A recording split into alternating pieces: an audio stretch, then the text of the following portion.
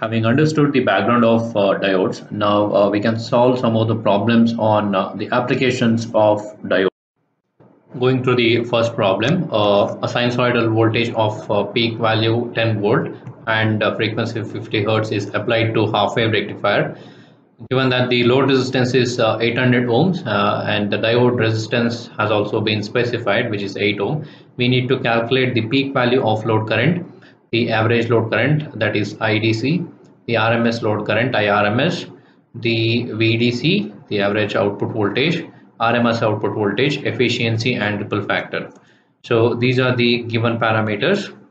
Uh, peak value which is nothing but equal to Vm is 10 volt, the frequency uh, is 50 hertz, load resistance 800 ohm, RF is 8 ohm. First we need to determine the peak value of current so that we can determine uh, the IDC and uh, RMS value of the uh, load current. So given that uh, the value of uh, forward resistance of the diode is given RF so the peak value of load current will be Vm the ratio of uh, the peak voltage by load resistance plus the forward resistance of the diode so substitution of uh, these values, the given values gives us the peak value of current to be 12.37 milliamperes. Now having found the peak value of load current, we have the formula for uh, derive, uh, getting the DC uh, current, the DC load current, which is Im by pi. Im has been determined here. So substitution gives us the IDC value to be 3.937 milliamperes. The RMS load current will be Im by 2 which comes out to be 6.188 milliamperes. The DC voltage which is the multiplication of IDC which has been determined over here with RL gives us the DC voltage output DC voltage. RMS the determined RMS multiplied by the load resistance gives us the VRMS value to be 4.95 volts. The efficiency since the RF value is given the formula will be 0.406 upon 1 plus RF by RL. So the efficiency calculation gives us 40.19%. The ripple factor under root VRMS square by VDC square plus 1.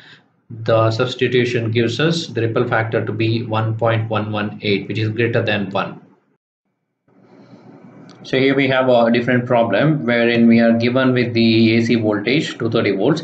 Now this is the voltage that is the voltage applied across the primary of the transformer which has a 50 hertz uh, frequency and the transformer has a turns ratio of 10 is to 1 the secondary of the transformer is connected to a half wave rectifier uh, and the diode has cut-in voltage of 0.6 volts and forward resistance is 10 ohm.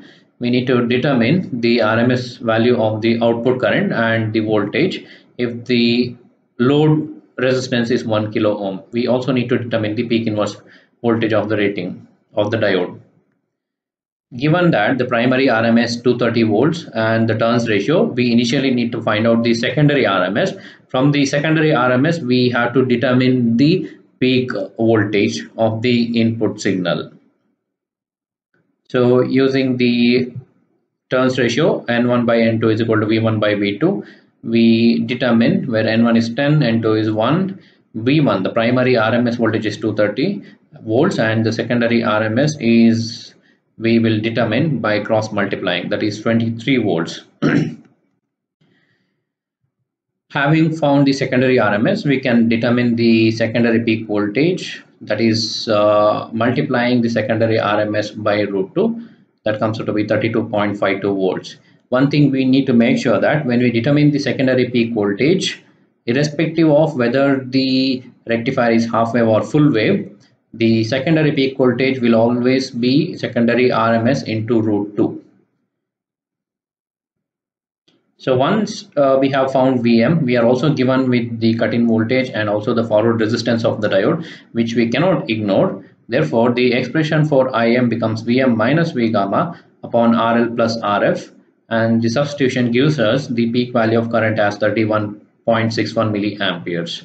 So once we have found the Im, we can uh, easily find out the RMS current 15.805 milliamperes and the DC current Im by pi that is equal to 10.06 milliamperes and VRMS is uh, as we done in the previous uh, problem simply multiply the RMS current with the RL and the DC voltage you can obtain by multiplying IDC that has been obtained here by RL.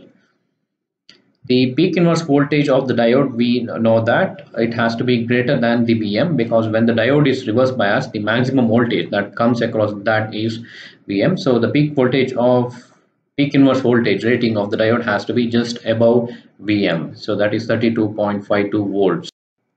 Now here's a problem on uh, the half wave rectifier with the capacitive filter. A half wave rectifier with capacitive filter is supplied with the from a transformer having peak secondary voltage.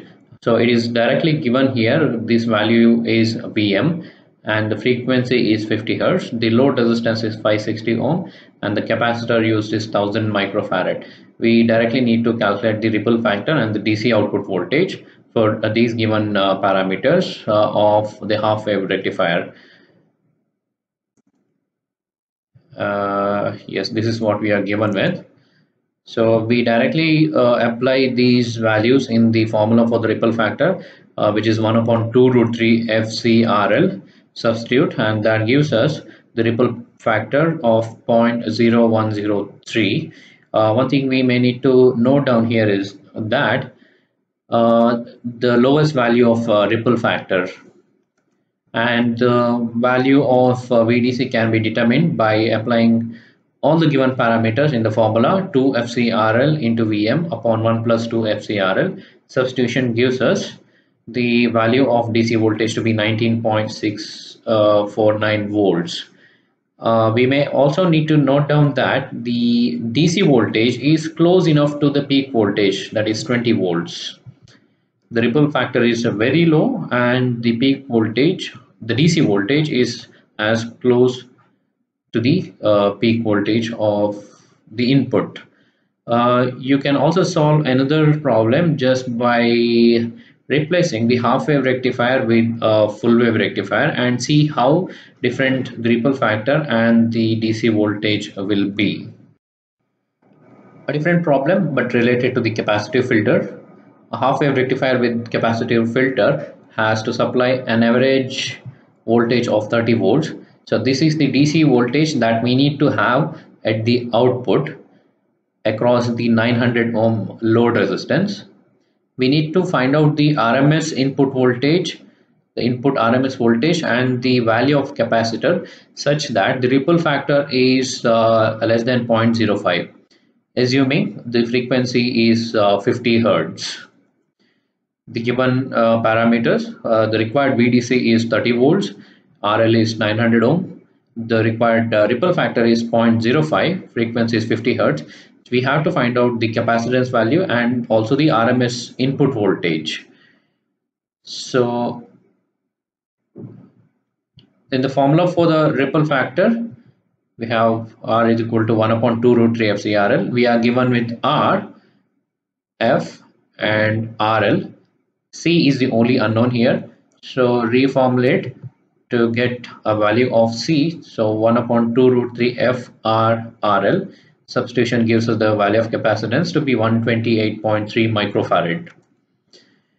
So in the second part where we need to determine the RMS input voltage, to determine the input RMS voltage, first we need to have the value of input peak voltage if we have the uh, value of input peak voltage we can determine the input RMS voltage the question says that the required VDC is 30 volts.